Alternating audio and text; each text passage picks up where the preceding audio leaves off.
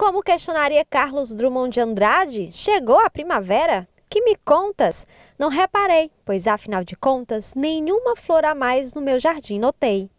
É assim o sentimento do piauiense com a estação do ano tão exaltada, mas que pouco se percebe pelo estado, já que as altas temperaturas durante esse período acabam engolindo a estação mais queridinha por todos. A localização do Piauí tão próxima à linha do Equador faz com que a paisagem nas estradas seja assim, com cores discretas em meio às folhas, que tanto sofrem com o calor mas não é por conta disso que não existe beleza para ser apreciada. Vista inclusive pelo teresinense durante o Festival de Olambra, que traz uma variedade de flores cultivadas em todo o Brasil, ainda em agosto, quase 30 dias antes da primavera.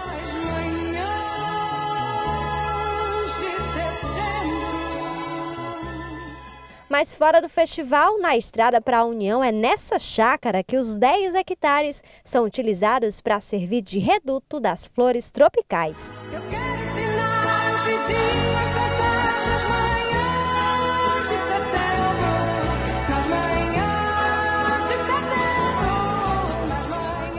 As flores tropicais são, são as melhores para esse clima. Ela se dá bem mesmo.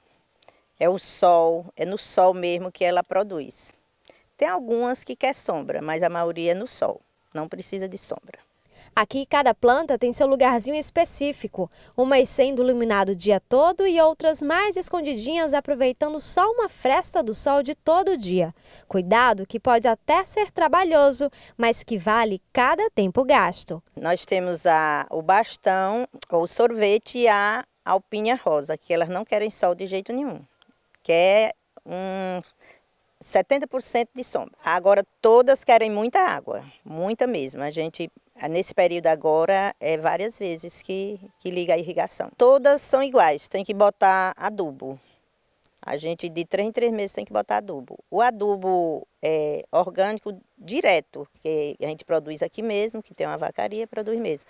E o outro que a gente compra, que bota de três em três meses. Outra opção para aproveitar um cenário colorido e florido durante esse período é adquirir flores como essa, que não exigem tantos cuidados e garantem uma beleza particular no seu cantinho dentro de casa. Os clientes ele têm uma procura por plantas com flores, né? As pessoas costumam gostar muito.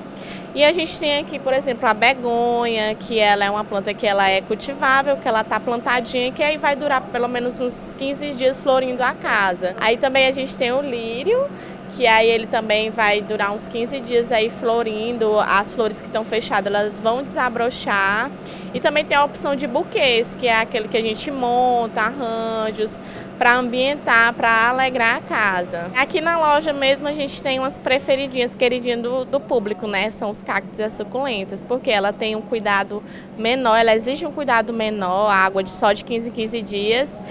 E aí o público gosta muito. Realmente as pessoas gostam de ambientar porque traz vida, né?